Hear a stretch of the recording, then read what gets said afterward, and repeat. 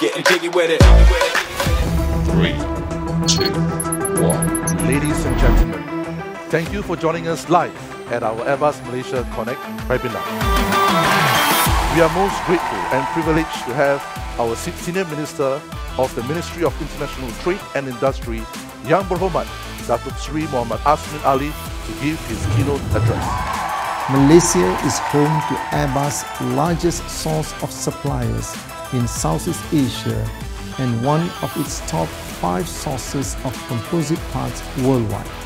I'm pleased to know that Airbus has been our partner for the most part of this journey and we look forward to a bright future for this relationship.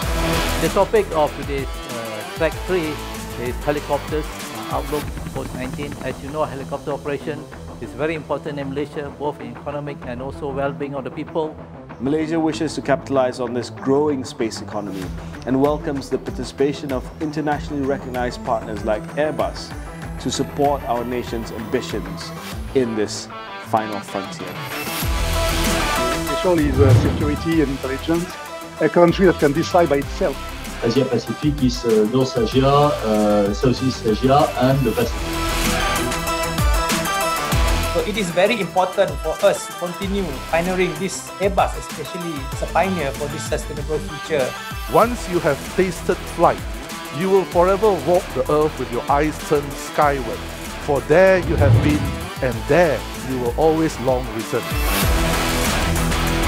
Thanks for joining us. This has been Airbus Malaysia Connect webinar. Signing off. Have a great evening ahead. See you soon.